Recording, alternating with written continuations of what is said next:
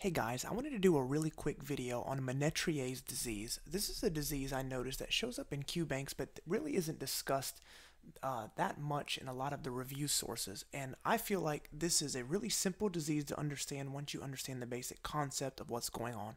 We'll cover this in about three or four points, so let's jump right into this.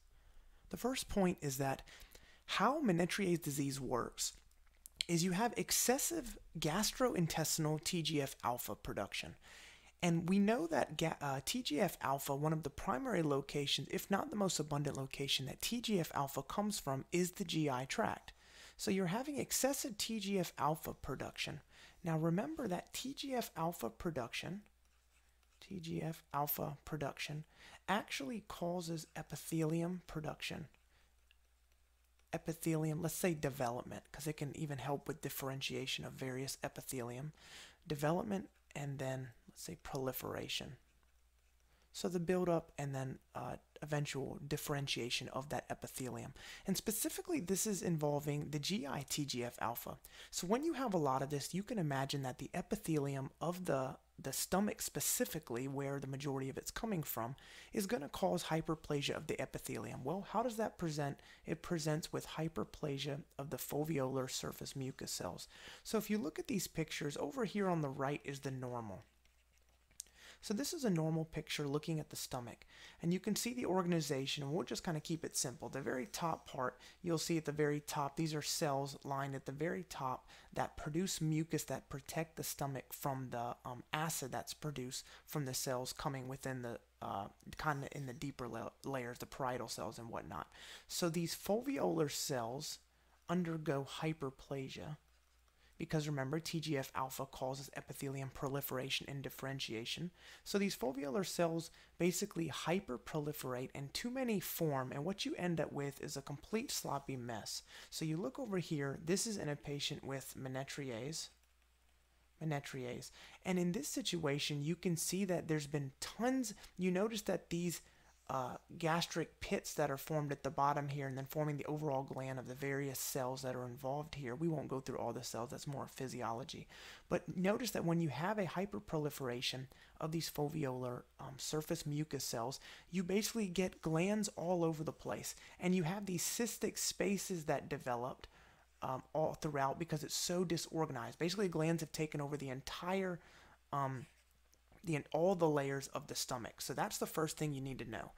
And then also, the next point is that with that comes a cerebriform enlargement of the rugal folds. So you know that in the stomach, here's two pictures. So this is ignoring the polyp that's right here. Don't look at the polyp. Let's just look at just looking at the rugal fold size. So this is kind of a typical rugal fold size. So there are these folds in the stomach and they're formed, if we go back here, they're formed from the pathology of these gastric pits that if you're looking over at the on the right where I'm drawing, it's going in and out, in and out, in and out, in and out. And that's what ends up forming this rugae that you're seeing. This is the typical kind of size and how the rugae looks uh, throughout the stomach, besides the uh, polyp that I said, ignore that. Now let's go over to what happens when you have this excessive TGF alpha and you have the excessive production of the foveolar surface mucus cells. When you have this, of course, you have glands all over the place and it's extremely unorganized. Now look at this. There's no, not only are they thickened, but you see that they're kind of they're rough looking. And if you were to look at, this is a piece that's cut out, but if you were to look at the stomach, you would have saw that it has a more of a cerebriform look. So instead of over here, where it's very straight and, and more smooth, you would see that the stomach rugae are kind of puffing up and they're kind of building on themselves and they're very unorganized like this. Oh, and they got the name cerebriform because remember the cerebrum of the brain this looks like basically brain tissue. If you were to look at a bunch of it you'd have saw that this looks like the cerebrum of the brain. And this um, all really unorganized um, proliferation of these foveolar surface mucus cells causing this enlargement of the rugal folds increases your adenocarcinoma risk. Okay that's important because compared to another similar um, hyperplastic gastroenteropathy. Compared to another similar one, uh, Zollinger-Ellison, you do not have really too much of an adenocarcinoma risk, whereas this one would have it in the stomach. Okay, so the next point is that its effects are on the fundus and body, but the antrum is spared. That's super simple. Here's the basic uh, anatomy of the stomach. So when you look at uh, a histological slide, you have to make sure you take and look at from the fundus and from the body. If you were to take it down here at the antrum area, you would have saw that it is normal. You wouldn't have seen the um, the rugal fold thickening and the uh, massive proliferation of the surface cells that cause that massive disorganization in glands all over the place. So know that the effects are only in the fundus and body, but the antrum is spared. And then another point is that it's a protein losing gastroenteropathy. So there's a ton of things that can go wrong in the gastric system that can result in protein losing. Think about it. Your gastric your GI system, your GI system is involved with absorption. Absorption and then also breakdown. So you know when you take in foods, let's say, that there are protein components in that food, and the proteins need to be broken down into the subsequent peptides before they can be absorbed. So how does this happen? It happens, it happens with pepsin in the stomach and then trypsin from the pancreas